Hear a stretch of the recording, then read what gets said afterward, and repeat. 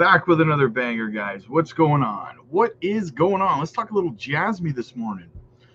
All right, so I wanted to have a quick look back at the team's KPI goals, guys, because you know every once in a while I get I've been getting a couple people lately been saying, oh, I watched this other YouTube channel and they said that you know the price of Jasmy, you know, would have to be fifty billion dollar market cap to get it to a dollar, and you know, eh, what if, what if you know what if it doesn't get to a dollar? They're freaking and you also get certain, like, you know, every once in a while you see someone in the comments or something. What you have to realize is these people don't do any research. I've banged on this drum a hundred times, but every once in a while you got to remind people when you see another channel or someone in the comments saying, oh, you know, there has to be a $50 billion market cap to get to a dollar, right? Guys, I'm about to show you the amount of research that they do when they give their price prediction, okay? This is what they do. They go right here to CoinMarketCap, as you can see, right? They come here, they type in Jasmy. Oh, look, they pulled up Jasmy. okay? Then they go and they look at this, max supply, and they see 50 billion.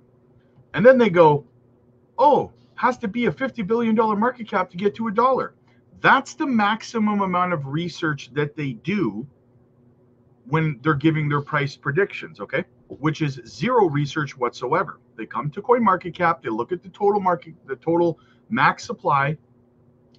Sometimes they look at the circulating supply, but Jasmy circulating supply is almost completely in circulation, so you just round up to 50 billion at that point, right?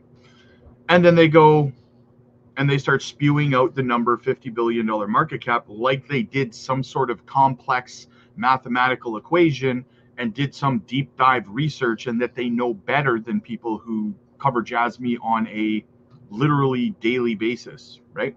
So I'll break it down and tell you why you don't have to worry about these imbeciles who don't actually do any research, who just go to CoinMarketCap and go, dee, dee, dee, dee, now I know how to do research, right? I did a research. Look at me. Okay. So if we come over and this is this is where they get lost and why they look foolish because they don't research. You cannot go out and start spewing price predictions on projects when you haven't done any research on who runs the project on what the goals are for the company what developments they're coming up with what recently have they come up with what's in the future what projects are they currently developed. If you don't do any research on any of this stuff you have no business throwing out a price prediction video at all, right? Because just, you're just doing it for clicks. You don't actually know what's going on, right? And this is a perfect example of that, okay? You have a look at Jasmy's KPI goals here. Now, this is the max supply 50 billion tokens, okay? The goal is to have, as you can see here, 36 billion locked up taken out of circulation. Okay, D- data utilization business completely locked up via partnerships through exchanges and through the personal data locker. Okay, taken out of circulation. That leaves you with 14 billion tokens in circulation. Okay, so now does let me ask you does the market cap need to be 50 billion for it to get to a dollar with 14 billion tokens in circulation? You do the math, right? You see what I'm saying? See how foolish they look now? Because they didn't do any research into the company. They didn't do any research into the personal data locker, into Janction's blockchain, into the L2 itself, into the utilization of Jasmy Coin. They didn't do any research. So whenever you see those price prediction videos coming out, they just look foolish, right? So I, I, hope that clears a little bit up for you guys. These are the goals directly from the team. Okay, this is not from some YouTuber. These are not goals from some someone over on X. These are the goals from the team at Jasmy. Okay, from Hara. These are the goals.